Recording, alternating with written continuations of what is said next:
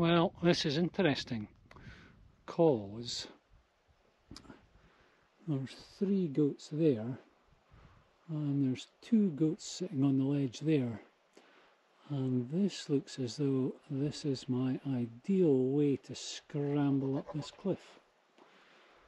So I wonder if they will move if I start scrambling up there if they'll just stay there. I don't want to get butted by any horns.